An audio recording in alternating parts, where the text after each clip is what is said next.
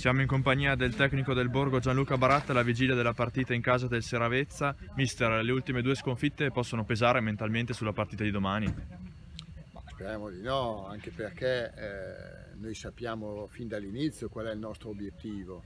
Quindi la classifica ci dice che l'obiettivo che ci siamo prefissi è comunque a portata di mano.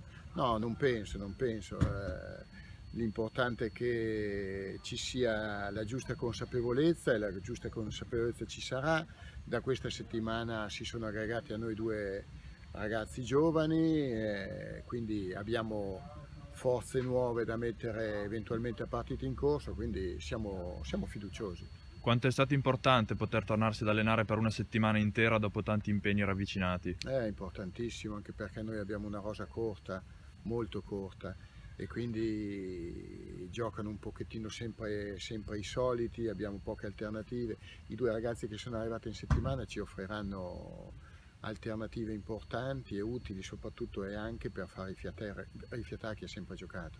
Parlando appunto di formazione, cosa dobbiamo attenderci per la partita di domani? Eh, I due ragazzi non sono utilizzabili perché vengono da un periodo di inattività, cioè si sono allenati per loro conto, ma eh, allenarsi con la squadra è tutta un'altra cosa. Non ci saranno grandi novità, noi siamo quelli.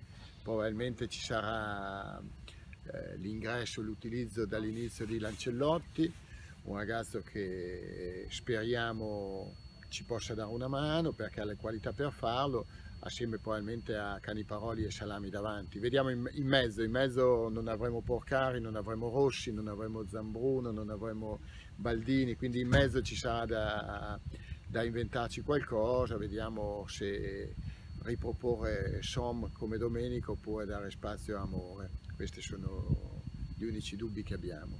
Cosa bisognerà temere maggiormente del Seravezza?